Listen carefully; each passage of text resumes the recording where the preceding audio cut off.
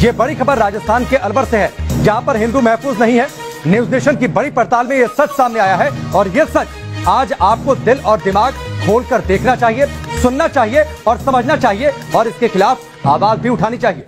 अलवर में हिंदू बच्चियों के साथ घिनौनी हरकतें लगातार बढ़ती जा रही हैं। कई मंदिरों पर कब्जा वहाँ पर किया गया है। मस्जिदें बना दी गई हैं। धर्म नहीं बदलने पर लोगों की हत्याएँ की गई हैं। आरती और घंटी बजाने पर मंदिरों पर हमले किए गए हैं। यानी मंदिरों में आरती करना और घंटियाँ बजाना, पूजा पाठ के दौरान एक तरह से पाबंदी जैसी स्थिति। कई गाँवों में हिंदू आबादी ना के बराबर रह गई है। तीन तस्वीरें आपकी टेलीविज़न स्क्रीन पर है। मंदिरों पर कब्जा किया गया है। आरती अगर वहाँ पर की जाती है, अगर घंटी बजाए जा, घंटियाँ बजाई जाती हैं, अगर शंख बजाए जाते हैं तो ऐसा करने पर मंदिरों पर हमला किया जाता है। वहाँ पर पूजा पाठ करने की मनाही है। मजबूरी में लोग अपने घर में भगवान की पूजा करते हैं लेकिन डर और दहशत के साय में। दूसरी तस्वीर है हिंदू बे, हिंदू बेटियों पर जुल्म हो रहा है। वो घर से बाहर निकलने पर असुरक्षित महसूस करती हैं कि कब कोई आकर उन्हें छेड़ दे। उनके साथ किसी दुष्कर्म की वारदात को अंजाम दे दे। हिंदू विहीन होते जा रहे हैं। ये गाँव अलवर और भरतपुर यानी राजस्थान का जो मेवात का इलाका है। राजस्थान के भरतपुर ज़िले के भंडारा गाँव में 400 साल पुराने शिव मंदिर पर कब्जा कर लिया गया। भंडारा गाँव का शिव मंदिर अब इतिहास बन गया है। उसे मस्जिद में मिला लिया गया है और वहाँ मस्जिद का निर्माण हो रहा है। यहाँ के हिंदू समाज के लोगों ने काफ़ी उसका विरोध किया, क्योंकि अब वो अल्पसंख्यक हैं, बहुत कुछ कर नहीं सकते। तो उनके आँख के सामने ही उनके मंदिर पर कब्जा कर लिया गया और मस्जिद बना दिया गया। अब ये लोग इतने दुखी हैं, शोक संतप्त हैं कि जो एक मंदिर था, वो भी निकल गया हाथ से।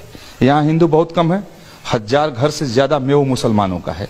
और उसके मुकाबले हिंदू यहाँ इतने कम है कि अगर प्रतिशत बताई जाए तो आठ दस फ़ीसदी से ज़्यादा यहाँ हिंदू नहीं है।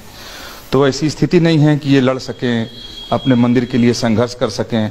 कानून का सहारा ज़रूर ले सकते हैं, लेकिन उसका भी कोई फ़ायदा नहीं हुआ है। इस भंडारा गाँव के तमाम बुज़ुर्ग लोग और यहाँ के लोग हमारे साथ मौजूद हैं, जो बताएँगे कि ये मंदिर कब से था, कितना पुराना था, कब कब्जा हुआ, कैसे कब्जा कर लिया गया। आपका शुभ नाम क्या है? ग्यासी राम जी। ये, जो मंदिर है था ये कितना पुराना था? ये सब हमारे बाप दादाओं पर दादाओं के सामने से चला आ रहा है जब पुराना मंदिर। और मैं मेरी उम्र भी पिचहत्तर साल की होगी। इसमें सेवा पूजा करते रहे हम। अब साहब मुसलमानों ने मतलब ये मंदिर मतलब ये खराब कर दिया बनाने नहीं दिया और सेवा पूजा नहीं करने देते अच्छा। हाँ जी हमारी जनसंख्या बहुत कम है जी अल्पसंख्यक में। हमको नाजायज मतलब ये सताते हैं और मंदिर पर कब्जा कर लिया है इन्होंने।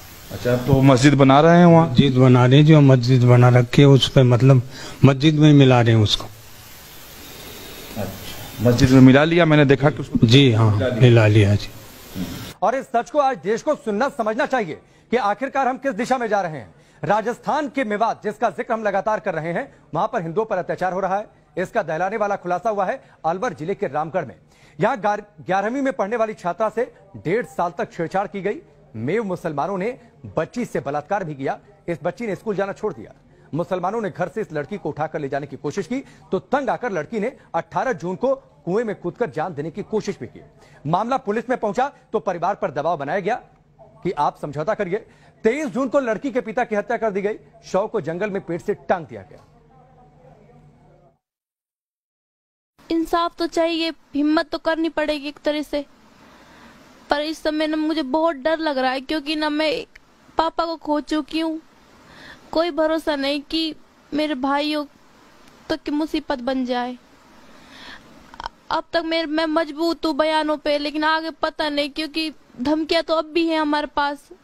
कहा गया है कि एक लाश बिछ गई आगे यानी कितनी लाश बिछ सकती है, कोई भरोसा नहीं है। ना मुझे ना, डेढ़ सालों में मुझे इतना घुटन कर दिया उन्होंने मेरे अंदर ना। मुझे खुद को खुद को घुटने पर मजबूर कर दिया उन्होंने।